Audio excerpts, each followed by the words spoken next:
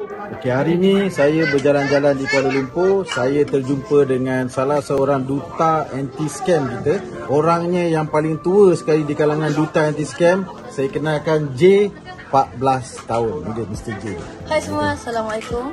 Saya J Nazif, Duta Anti-Scam anda. Kita nak tanya J, apa yang dia tahu pasal scam ni? Okey J, apa yang J tahu pasal scam ni? Ringkas je, ringkas je. Scam ni dia terdapat berbagai cara untuk scam orang. Contohnya scam dalam talian online, hmm. com yang menjadi pihak atasan Hmm. and paling famous kalau dekat uh, laman sosial ada scam apa duit shilling lama. Duit shilling lama. Ya.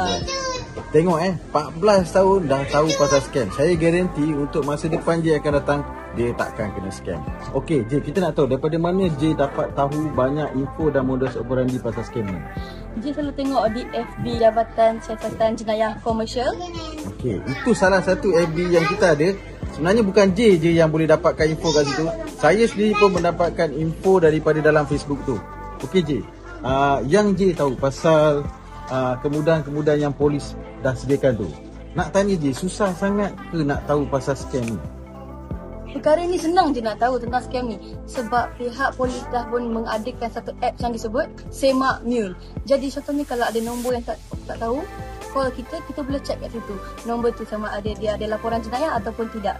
Jadi kat situ kita dah boleh tahu dah dia scammer ataupun tidak. Senang je benda ni. Orang Ada- pun kena ada. Ada J kena buat bayaran apa-apa ke untuk Tak nak ada. tahu pasal scam ni? Tak ada. Nak tengok Facebook ni? Tak ada percuma. Susah ke J? Susah ke nak belajar, nak ambil tahu? Tak, senang sangat. Dan korang perlu menitik beratkan benda ni. Sebab scam ni bukan benda yang main-main.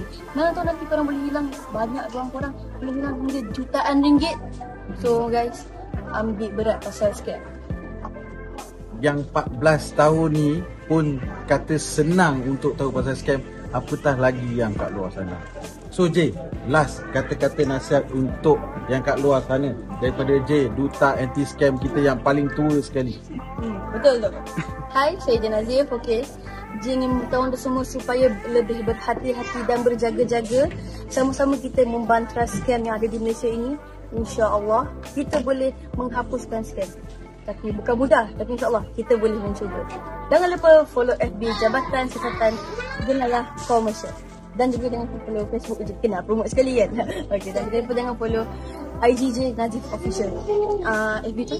uh, saya punya FB terima kasih Polis Direktur Malaysia Be smart, stay alert.